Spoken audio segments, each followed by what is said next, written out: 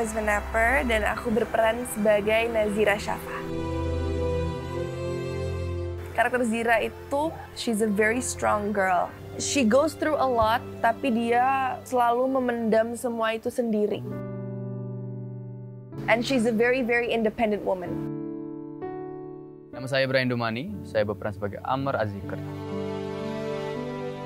Karakter Amr ini bukan ustadz-ustadz yang di film religi biasanya. Dia masih 20 tahun, uh, masih pure of joy, percaya diri, orangnya lucu, bercandaan. Cara hubungan dia sama Zira pun lucu. Lihat-lihat video YouTube-nya segala. Action! dia bilang dia mau ta'aruf sama kamu. Namaku Cindy Fatika Sari, di film ini aku berperan sebagai uminya Zira. Dia adalah sosok ibu agak sedikit fragile, tapi overall dia adalah perempuan yang sangat kuat, sangat penyayang. lagi lagi. Nama saya Tengku Firman Syah. Saya berperan sebagai abinya Zira. Suka banget makan duren Wonosobo bareng Zira. Saya memberikan banyak nasihat. Salah satunya meminta Zira untuk menjaga kesuciannya sampai dia menikah. Perempuan menjadi terhormat apabila dia bisa menjaga kesuciannya sampai dia menikah. Itu yang akan menjadi salah satu tiket surga dari anak untuk orang tuanya. Anakku soleh-soleh, ganteng-ganteng, Masya Allah. Saya Meisha Siregar. Di sini saya berperan sebagai Umi Yuni, ibu dari Amr dan juga Alvin layaknya mungkin ibu-ibu yang lain ya, tapi mungkin uh, momen kehilangan seorang anak itu yang membuat Umi Yuni uh, terlihat sangat tegar, dia bisa berbesar hati untuk bisa memberikan ketegaran untuk mantunya yaitu Nazira. Saya Hamad Syahid, di film ini saya berperan sebagai Alvin Faiz. Dia seorang kakak yang selalu bersama dengan Amar. Beliau adalah uh, kakak yang sayang banget sama Amar. Coba kita latihan ya dari awal. Aku Aditya Putri, berperan sebagai Kak Bella, kakaknya Zira. Dia adalah sosok wanita yang kuat, yang tangguh. Saya Reza, A-nya Zira dia berusaha untuk melucu cuman melucunya beda frekuensi jadi nggak masuk jadi garing 11-12 sebenarnya sama Rituan saya Yuriko Angelin dan di film 172 Days ini aku Yuriko berperan sebagai Intan Intan ini adalah temannya Zira dari SMA dan dia adalah teman yang baik gitu, teman yang menuntun Zira ke jalan yang lebih baik. Berbeda dengan temannya Zira yang lain gitu, dia memang sedang proses untuk hijrah dan akhirnya dia ketemu lagi sama Zira setelah sekian lama gak ketemu di proses hijrah mereka itu. Aku Amara Sofi, aku berperan sebagai Niki di film 172 Days. Pokoknya semua ketakutan orang tua di anak remaja itu terjadi di Niki. Ya dia ngelakuin apa pun yang dia mau dan sangat bold dari outfitnya, dari bahasa tubuhnya. Jawab dong. Enggak. Assalamualaikum. Waalaikumsalam. Baik. Ngapain di sini? Ah, udah lama di sini bantuin teman. Gue Abun Sunggar. Di film 172 Days gue berperan sebagai Abun. Karakter Abun ini sebenarnya jadi diri gue sendiri kan ya. Ceritanya sebagai sahabatnya Amr gitu. Izin sekali sama Apik buat nikah langsung di sini. Gue 10 kali 10 10-nya ditolak. Berakting dalam film ini uh, sempet doa sama Allah dan nangis karena ingat Amr ya saya pun memerankan sebagai diri saya sendiri dan mengulang kembali adegan yang dulu pernah kami lakukan di kehidupan nyata. Oh enggak, bukan dia percaya, cuman agak aneh buat saya biasanya yang ngechat itu kan. Ini masalah ownernya sendiri yang ngechat, nggak enak saya Halo, gue Alfi Alfandi, berperan di film ini sebagai Mas Amas atau Mal Amas. Mari kita memulai film 172 days ini dengan doa. Mari kita syuting.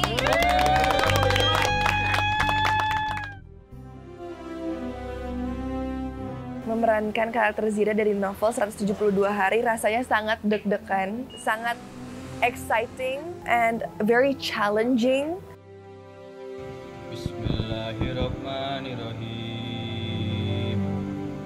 Saya baru-baru banget belajar tentang agama Islam.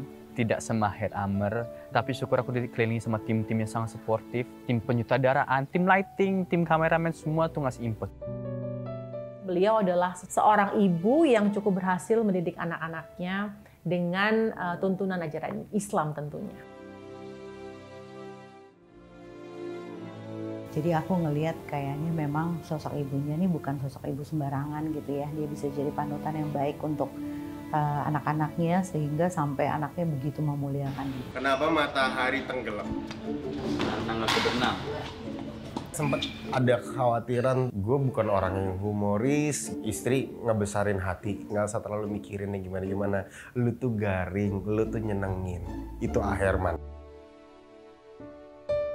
Ngebayangin gitu ya kalau aku jadi pembaca nih yang aku visualisasikan itu kayak gimana sih? Tuh Dan aku juga sempat nanya-nanya ke Kazira kayak dalam memenangkan si Intan.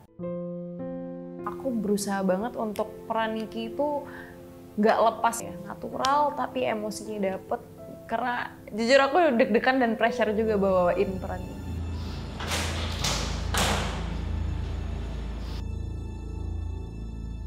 menjadi salah satu tokoh yang bisa uh, menggambarkan kehidupan beliau itu rasanya senang banget. Ini kita lagi syuting di Masjid Azikra dan kalian kalau mau tahu kita syuting scene apa kalian jangan lupa nonton di bioskop. ya, Ah. sakit ya. Aku ngeriset karakter Zira itu em, dengan ngobrol sama Ziranya secara langsung. Aku melihat podcast-podcast Amr sama Zira di YouTube. I try to implement that into this movie. Semua itu kasih input.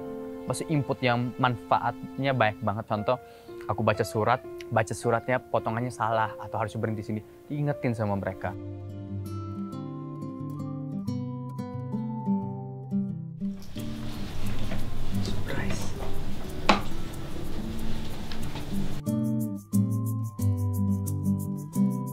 Aku banyak bertanya sama penulisnya yaitu Zira gitu. Aku bertanya pada waktu masa-masa ini kejadian nyatanya tuh seperti apa. Tapi di dalam adegan-adegan di film tentu saja uh, aku juga harus berkonsultasi dengan Bu Hadra selaku sutradara. Nah dari dua itu aku combine. Kalau sama Bella malah lebih nurut. Karena Bella galak kali ya, agak Galak galak, banget. agak galak. Aku harus membawakan sosok ibu yang jauh lebih dewasa dan lebih matang.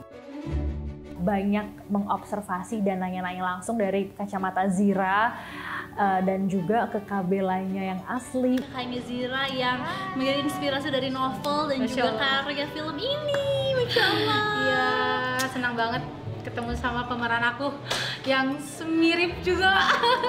Pada aslinya dia lebih tangguh dan serba bisa ya.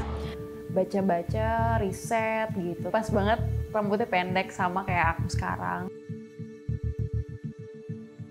Untuk Niki Zira itu rasanya kayak nggak bisa hidup tanpa Zira gitu. Dia nggak bisa gitu lepas sama Zira.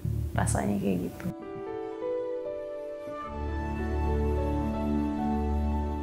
Lagi scene di mana Amr datang ke rumahnya Zira untuk Lamaran ya. Mereka lagi di dalam, jadi sekarang kita dikasih kesempatan buat Zira sama Amar ini buat ngobrol berdua.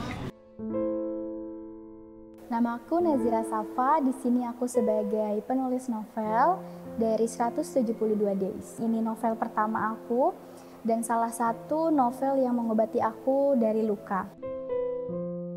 Novel ini tuh sudah dipinang oleh beberapa eh, PH dan aku ikhtiar untuk mencari PH-PH yang bisa em, membesarkan, mendidik dengan baik si 172 days ini. Jadi waktu itu aku ketemu sama Pak Parwes dan aku mendapatkan banyak masukan dan akhirnya aku setuju untuk kerjasama bareng Star Vision.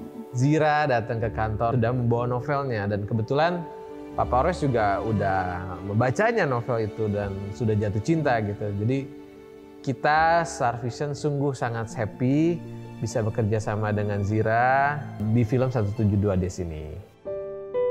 Ketika mengadaptasi cerita novel ke film tuh adalah storytelling dan rasa. Tolong ya, temenin aja dulu deh mejanya. Apalagi ya yang belum ya Umi? Oh iya, ah, bilangin sama Bibi tadi kan minuman dingin, minuman hangatnya belum. Memilah mana adegan yang kita pertahankan, emang ingin kita visualkan, tapi tanpa menghilangkan semua isi di dalam novel itu. Rambut adalah termasuk aurat. Maka tutuplah rambut. Pas baca novelnya, wah ini cerita yang luar biasa menyayat-nyayat hati nih. Kayaknya harus emang harus dipegang nih yang kayak begini. Ada beberapa rumus adaptasi dalam mengadaptasi sebuah novel. Intinya kita nggak berhutang apa pun pada naskah aslinya. Mana yang bisa membantu plot harus ditambahin. Gitu. Gaya menulis dia sungguh apik, kita pilih Archie untuk di film ini. Abang tahu nggak rasa sakitnya kayak gimana? Mas Arsi tuh bisa menanamkan sisi diri aku yang lebih di sini.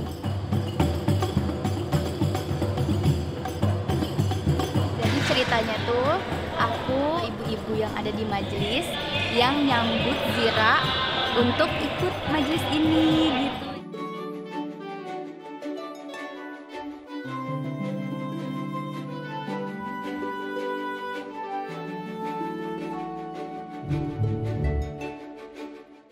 kerja sama sama Archie dia juga banyak banget masukin hal-hal agama di dalam ceritanya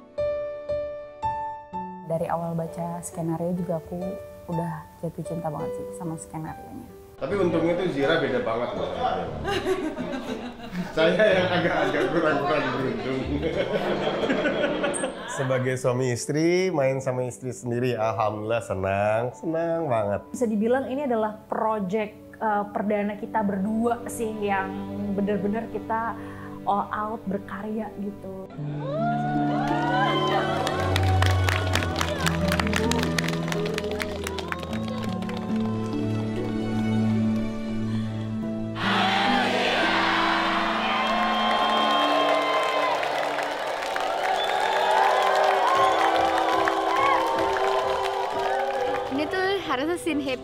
scene nikahan, tapi aku yang ngeliatnya tuh kayak sedih banget. Semuanya itu aku merasa kembali ke masa-masa itu. Star Vision tentunya sangat amat menjaga membuat karakternya sedekat mungkin dengan aslinya. mendekatkan tokoh cast kita bukan secara physically tapi lebih ke pikiran hati yang dimiliki sama sosok aslinya. Ya Zira ini adalah alasannya Kabela bertahan protektif ibu dan bapak di dirinya Kabela. Sebenarnya dia punya beban yang sangat berat tapi dia bisa melakukan itu semua. Langkah pertama hijrah. Tobatan nasuha, lupain semua masa lalu kamu dan jauhin teman Trik mandatori langkah-langkah hijrah. Ada berapa langkah hijrah? Harus nonton. Hari ini kita take yang langkah kedua. Support system terbesar aku sebenarnya diri aku sendiri. Almarhum abi aku, almarhum Amar, keluarga. Ketika kita deket sama orang-orang yang energinya positif buat hidup kita yang lebih baik. Dia menghidupkan banget sosok Amer yang sangat loving terhadap semua orang, terhadap siapa pun yang ada di sekitar dia. aku ngerasa kalau buat akunya feel like we have that connection as Zira and Amer. Yasmin mah talented actress banget dia. Emosi dia di setiap adegan tuh selalu total. Uh, ngebantu banget aku juga. Kita kalau udah on cam, udah action, udah menjadi Amer Zira itu udah langsung Alhamdulillah sejauh ini langsung klik gitu. Chemistry mereka bagus banget. Aku ngelihat hati yang luar biasa besar banget di mereka untuk membawakan uh, peran Zira dan Amar. Brian tuh bisa membawakan peran Amer dengan dengan luar biasa. Yasmin berusaha keras untuk bisa membawakan uh, karakter Zira dan hasilnya memang luar biasa. Mereka berdua meng- bisa menghidupkan karakter yang saya tulis. Saya nanya juga nih sama orang-orang terdekatnya Zira gitu. Mirip banget gitu mereka bilang ketawanya, cara pembawaannya, happy-nya, nangisnya. Ziranya juga terlibat di dalamnya. Itu yang membuat film ini menjadi seperti real gitu. Ketika proses syuting dan udah ngeliat editingnya, aku ngerasa kayak apa yang aku mau gitu di bener-bener ditampilin banget sama mereka berdua. Kenapa kita pilih Hadra Dayang Ratu? Karena kita sudah bekerja sama sebelumnya di film Perfect Fit dan kita sangat menyukai cara directingnya dia dan menurut kita dia sangat cocok dari point of view perempuan itu sangat dapat. Bu Hadra sebagai director, um, she's so fun to work with. She's very open with opinions um, dari um, her actors. Bukan hanya director teknis, tapi juga perasa banget. Ikutan nangis, ikutan ketawa, ikutan ya marah. Wah, apa pun yang beliau ingin beliau tambahkan di film pasti beliau komunikasiin ke aku dan aku excited banget selalu menyenangkan environment syutingnya juga enak banget girohnya tuh kayak semangat melahirkan film ini itu luar biasa Sutradara yang modern, unik, fleksibel sekali gitu. Aku suka sih approach-nya dia. Uh, Umi melangkah, Zira sambil nyamperin Umi, cium tangan gitu tangannya dipegang terus sama Umi. Bahadra uh, detail banget sih. Aku happy banget sih uh, kerjasama sama Bu Hadra.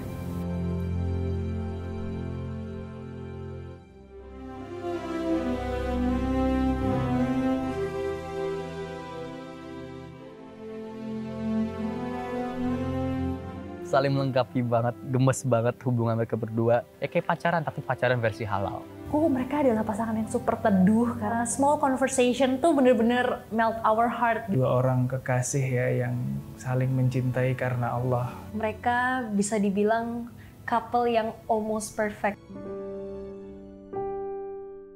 Pasangan yang Masya Allah ya.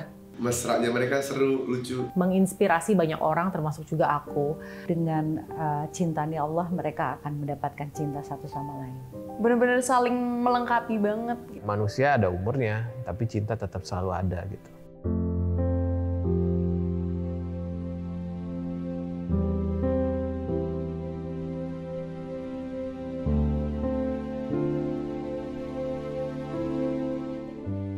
Kehilangan mungkin adalah rasa kosong dalam hati kita. Sedih iya, marah iya. Harus sadar kalau itu bukan di tangan kita. Arti kehilangan menurut saya di mana saat kita masih pingin ngatain sayang, tapi orang yang sayang itu hanya bisa mendengar dari jauh. Pada dasarnya kita kan nggak memiliki itu, kita nggak memiliki mereka gitu. Dan jangan sampai menyesal jika suatu saat waktu tersebut akan berhenti dan salah satu dari kita diambil oleh Allah. Bentuk ujian yang memang membuat kita menjadi manusia yang lebih banyak bersyukur. Dan dia tahu persis bahwa Amer diambil sama yang punya, yaitu Allah Subhanahu Wa Taala. Jadi orang beriman sih insya Allah nggak sesedih itu. Kenapa Zira bisa sekuat ini? Jawabannya karena memang Allah yang menciptakan hati dan raga aku sekarang.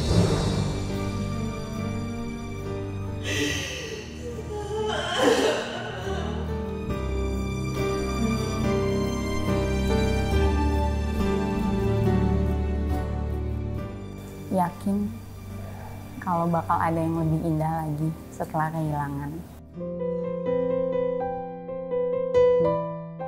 Perjalanannya Zira, kebaikan-kebaikannya Amr, cara mereka mempelajari Islam di hubungan berumah tangga mereka, cara indahnya dan juga susahnya berumah tangga di umur segitu. Kita benar-benar cuman butuh the right group of people around us. Bahwa kita semua itu pasti bisa menjadi orang yang lebih baik. Mengambil hikmah dari sisi-sisi yang sangat positif. Kebaikan itu nggak bisa kita tunggu-tunggu, harus kita jemput. Komitmen cinta atau kekuatan cinta yang dilandasi oleh cinta kepada Allah ya. Sederhanaan yang dia tulis, menurut aku itu yang something extraordinary yang dia punya sih. Gitu, kejujuran itu sih yang gak dipunya banyak penulis.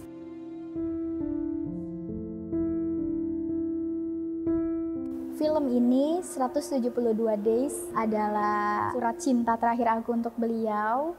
Nama kamu ingin hidup sudah aku kerjakan. Terima kasih dan sampai jumpa. Kita mau ke Pulau Sangiang.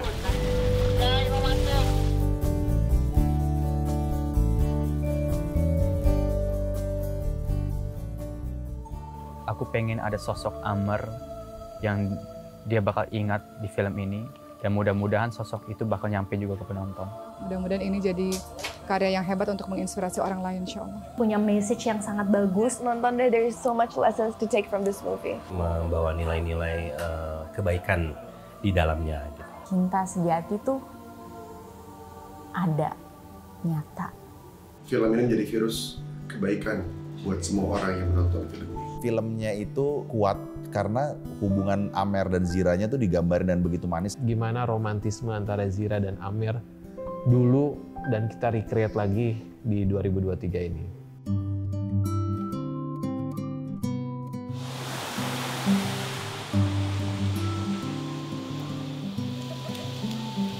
God, film 172 Days Israel.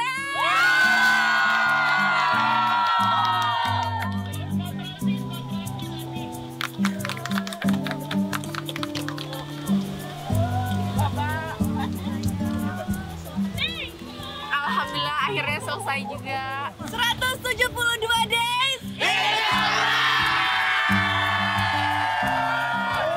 Saksikan. Saksikan. Saksikan. Saksikan. Saksikan. Saksikan. Film 172 Days. Film 172 Days. Film 172 Days. 172 Days. Film 172 Days di bioskop. Di bioskop. Di bioskop. Di bioskop. Di bioskop. Di bioskop. Di bioskop.